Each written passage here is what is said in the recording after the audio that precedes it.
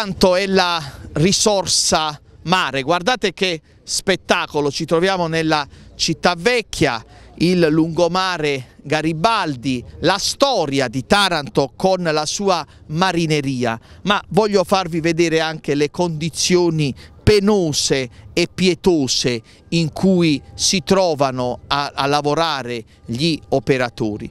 Vedete qui abbiamo tutta una serie di banchine in legno che sono eh, divelte, sono rotte, eh, ci sono dei tratti mancanti e diventa davvero pericolosissimo per loro stessi, per gli operatori camminare, nonché per i turisti. Guardate un po', vi farò vedere vari tratti, ma pensate un po', qui abbiamo questi due...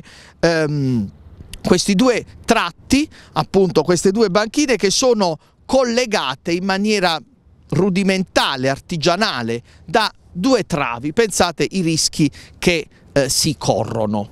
Ma le banchine sono rotte, mancano proprio i pezzi eh, di legno le, le, singole travette. Ecco, qui addirittura eh, gli operatori sono stati costretti ad arrangiarsi, a mettere una, una, trave per non andarci a finire dentro, perché poi è chiaro che di notte, ecco, diceva?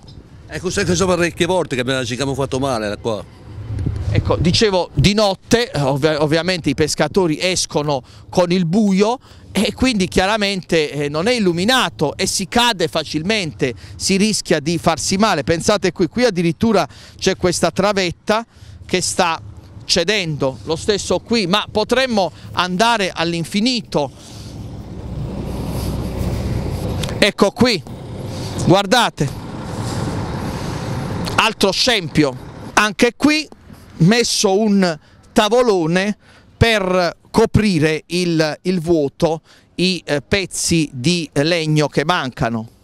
Cioè io l'amministrazione Melucci si sciacqua la bocca con tante favole, parla di ecosistema Taranto, parla di Taranto capitale del mare e poi ogni giorno, ogni giorno eh, non ascoltando le sacrosante eh, lagnanze degli operatori, ogni giorno schiaffeggia gli stessi.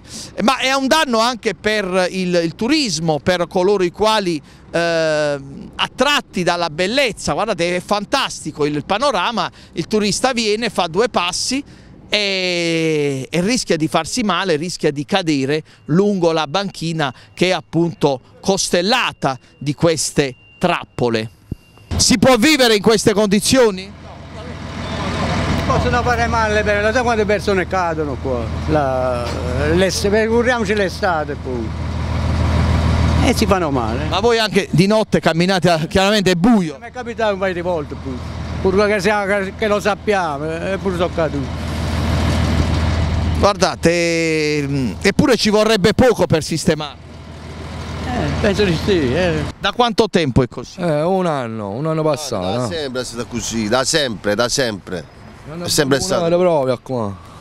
Il problema è che, lo dicevo prima, voi camminate, cioè andate a lavorare la mattina col buio e si cade. Eh, vengono anche i bambini, avanti, vengono. Guardiamo a terra, non guardiamo avanti sulla banchina, guardiamo a terra. Un danno per i bambini, per i turisti? Per i turisti, per tutti. Ci sono stati casi che si sono fatto male le persone.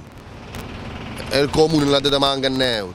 Il comune ha sparito, si faceva vedere proprio. E allora il turista fa due passi, ovviamente come detto non ha gli occhi a terra e ci va a finire dentro. Ma non solo qui, fosse solo qui, potremmo andare qui, potremmo spostarci, anzi ci spostiamo, guardate, altra trappola.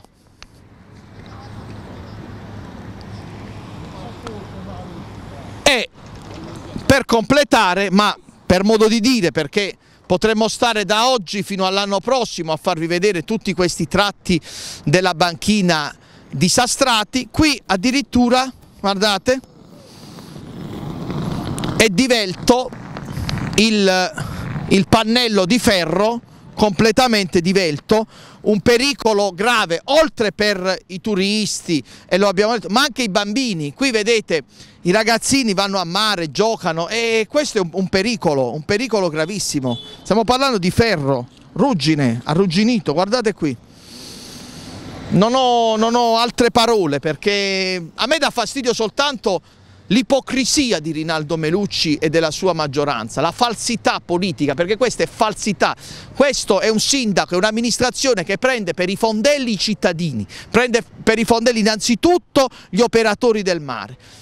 Ed è grave perché Melucci viene da una storia, da una famiglia legata alle attività del mare, molto ma molto grave, se ne strafotte Melucci di Taranto, dei tarantini e degli operatori del mare e dei pescatori, però si sciacqua la bocca dicendo Taranto, capitale del mare. Questo è Rinaldo Melucci, insieme a tutta la sua amministrazione, compresi i suoi ex amici del PD che ora si sono distaccati ma non possono cancellare le loro colpe e responsabilità politiche molto gravi.